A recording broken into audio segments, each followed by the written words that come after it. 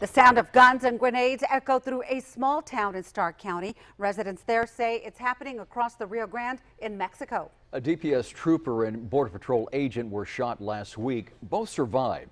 Uh, tonight, investigators are trying to figure out where the bullets came from. Channel 5's Michael Scott tells us what people living there experience. Families live here for many generations.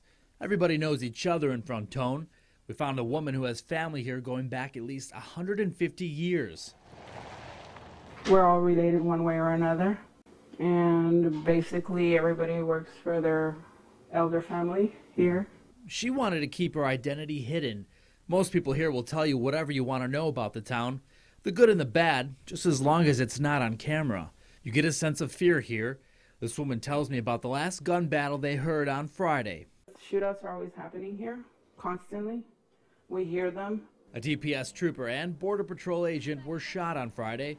Investigators are trying to figure out if the bullets came from the other side. This is how close Fronton is to the river. The sounds she's describing are coming from the Mexican town across the Rio Grande.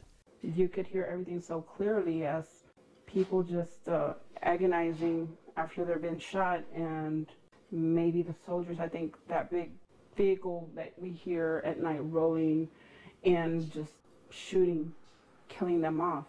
People screaming, running. That's when people come to this site. She says the town was a peaceful place.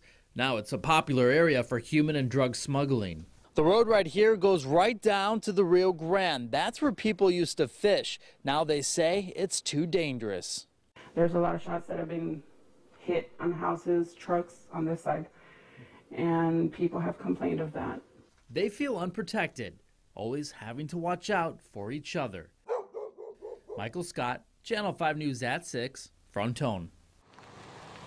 Another note to Michael's report, folks living in Fronton say they see a river island being used for illegal activity. This is a Channel 5 News Extra. We showed you these islands in a special report. These are plots of land in the Rio Grande. One of them is a stone's throw away from Fronton. These islands are off limits to Border Patrol agents and local law enforcement.